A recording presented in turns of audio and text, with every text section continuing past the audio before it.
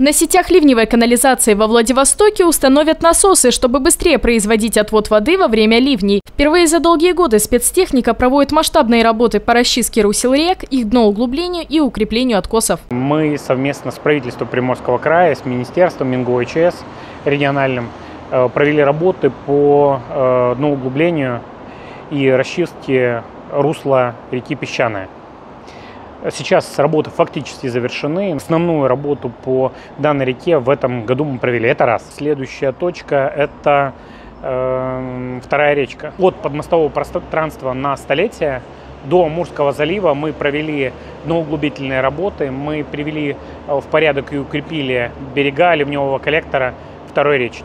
Хотелось бы напомнить, что всю зиму 23-24 э, года э, мы проводили работы по значимому ливневому коллектору, который идет от Давыдова в сторону второй речки. Это огромный коллектор, его диаметр 2,5 метра.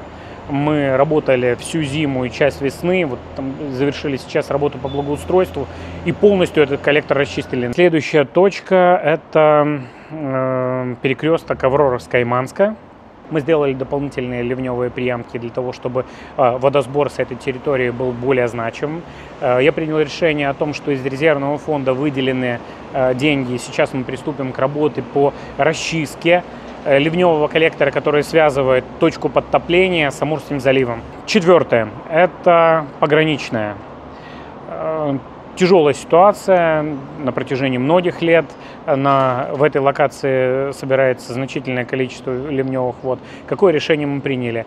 Uh, уже это не резервный фонд, это системное решение со стороны администрации города Владивостока. Выделено 45 миллионов рублей для того, чтобы мы восстановили и увеличили э, диаметр ливневых коллекторов. Данный спектр мероприятий поддержал губернатор Приморья Олег Кожемяка. Он поручил для этого выделить городу спецтехнику. Создать условия э, для того, чтобы было единое место э, сбора стока, установить э, там стационарный насос большой мощности, приобрести несколько насосов передвижных, где-то 500 литров в секунду, которые у нас работают на Дальнереченске, чтобы в период ливневых дождей, вот, помимо работы самой ливневой канализации, мы могли бы значит, подключать эти насосы и передвижные, стационарные, и перебрасывать воду уже непосредственно в море.